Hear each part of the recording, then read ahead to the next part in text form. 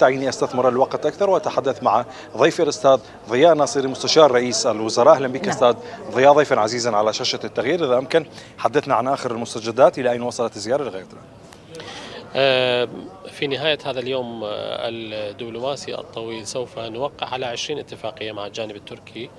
وسوف تتوزع هذه الاتفاقيات على ثلاث محاور أساسية. محور الأمن وهو محور وهاجس أساسي بين البلدين وهذه الحدود التي لم تشهد الاستقرار منذ زمن بعيد. المحور الثاني هو محور الاقتصاد والاستثمار وسوف يتم توقيع اتفاقية مشروع طريق طريق التنمية مع تركيا. وهذه تعتبر بمثابة الانطلاقة الواقعية لهذا المشروع والبدء الفعلي العد التنازلي لربط السكك بيننا وبين الجانب التركي. ولما لهذه القضية من تأثيرات وربط الشرق بالغرب.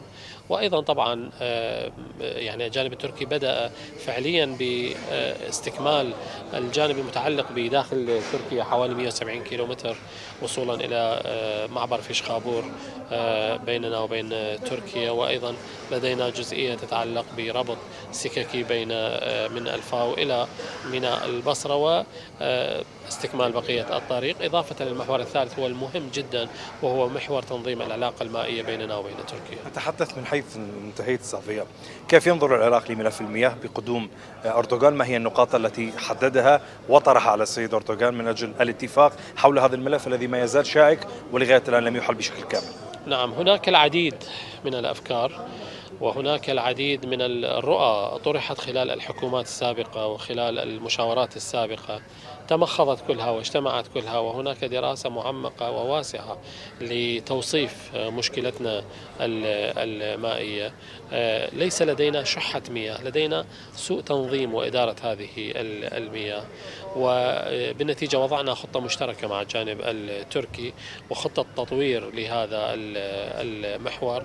وخطة مستدامة ربما تمتد لعشر سنوات للسيطرة على مواردنا المائية والحيلولة دون عودة مظاهر الشح المائي كما شاهدناها خلال السنوات الماضية، طبعا هي ليست يعني خطة سحرية تبدأ منذ اليوم ولكن خلال السنوات القصيرة الق- القادمة سوف تشهد تحسنا كبيرا إن شاء الله. طيب كيف ينظر العراق بظل هذه التفصيلات وهذه المضامين كيف ينظر العراق اليوم لهذه الزيارة؟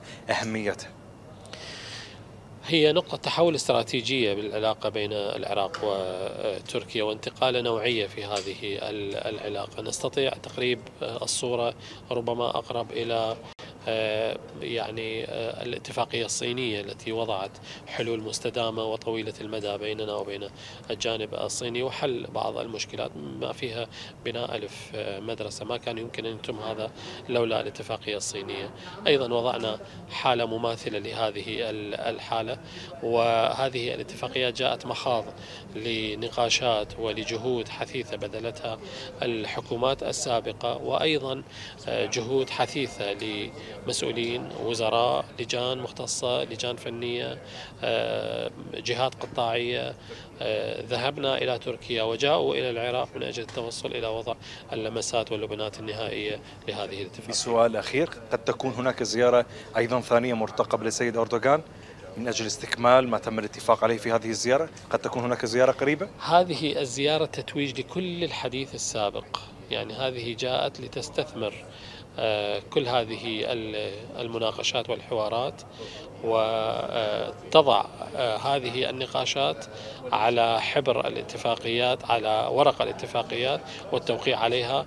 وأستطيع القول بحسب آه، ما لمسناه من الجانب التركي بأنه وعد بأن ينطلق في اليوم التالي لتوقيع هذه الاتفاقيات للبدء بتنفيذ آه، مضامين هذه الاتفاقيات وخصوصا في موضوع تنظيم العلاقة المائية. شكرا جزيلا أستاذ ضياء الناصري ضيفا عزيزا على شاشة التغيير مستشار رئيس الوزراء شكرا جزيلا لحضرتك. نعم زميلتي كما نعم. آه، استمعتي لهذه التفصيلات التي تحدث بها السيد الناصري مستشار رئيس الوزراء. العراق ينظر إلى هذه الزيارة بمنظار آه، مهم وواسع.